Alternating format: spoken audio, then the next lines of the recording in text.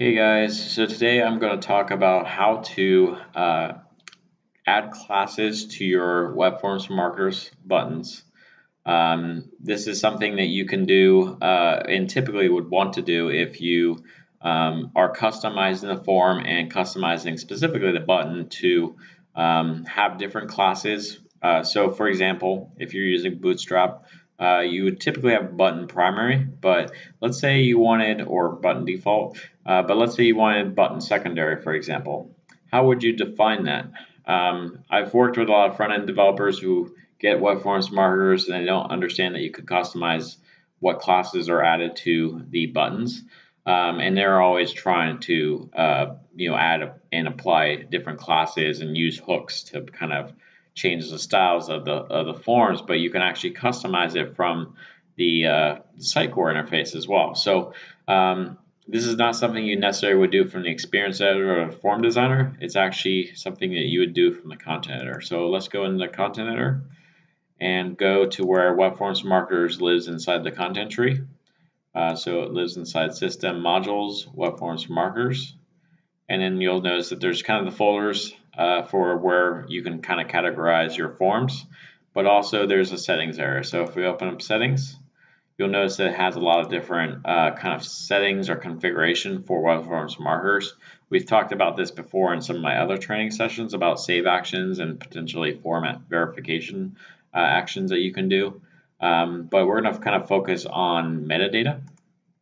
So this is kind of an area where you can put a bunch of different options. Uh, you can customize by adding additional options, or you, if you are building some sort of custom field, you could actually add your own options in here and categorize them under some sort of common folder uh, to, to kind of organize them. But um, the, the option I'm going to show today is the submit button type.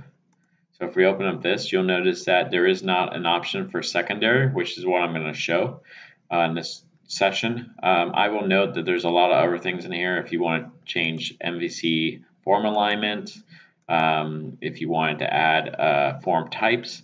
So all these options add a value, although this doesn't seem to have one, but this one does. So that value is is typically a class name that that your uh, CSS class or CSS or less or Sass or whatever you're using would kind of attach to and allow you to make customizations to your form. Um, so other things is uh, button sizes. You can actually change the button size. And this here again is just adding a different class um, to your. It, so when I'll show this in a second where I, I, go into a form and I customize these options, but um, you could basically do different, um, basically selecting different ones, apply different classes. So to add a new submit button type of secondary is what I'm going to create here. I'm going to go and do insert from template.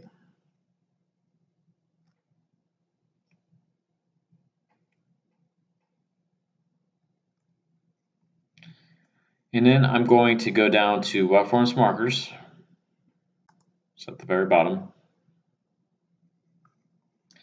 And then I am going to what it's called off the top of my head. I think it's a metadata and extended list item is what it's called. So now I want to call it secondary. Uh, the naming convention over here was all lowercase. It doesn't really matter really, um, but we'll just keep with that naming convention of, of keeping it all lowercase. So we're just going to call it secondary. Click insert. And now we have secondary, but we should also give it a value. So button secondary, for example. That would be the class name that's applied when you select secondary button type. Um, so now how would you assign these options uh, to your form? So here again, is this is not something that you would do through the experience editor or the form designer. This would all happen within um, the content editor. So if we go down to one of these sample forms, for example, and we open up tell a friend and we click on the tell a friend uh, main item, the main form item, um, and if we start scrolling down, you'll see that there's a lot of options here. Um, a lot of these options are, are present in the form designer, but a lot of these are also uh, unique to just this interface.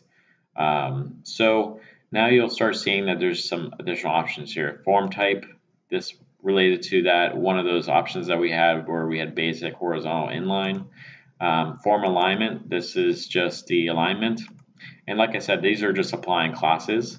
Um, and you know, also you have the ability to customize additional options if you want. Uh, custom CSS classes if you'd like.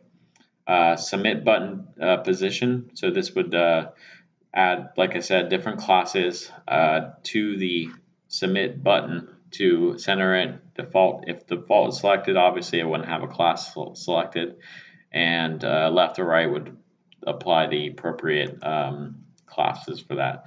Um, and lastly is a submit button type. This is what I just added. So now you can actually see secondary is an option, uh, but you can obviously select some of these other options as well. Um, and, and size is just another thing. It, it allows you to select an option which will apply a class on the front end. So that's pretty much it. Um, so if you ever need uh, to, you know, customize the buttons or even customize some of the other options, web forms markers, which I'll eventually do another session on this in, in kind of greater detail. But uh, this is some of the, the ways you could do this. Um, maybe I'll do a, a, training session on more CSS uh, heavy uh, topics for more of the front end developers that work on Sitecore.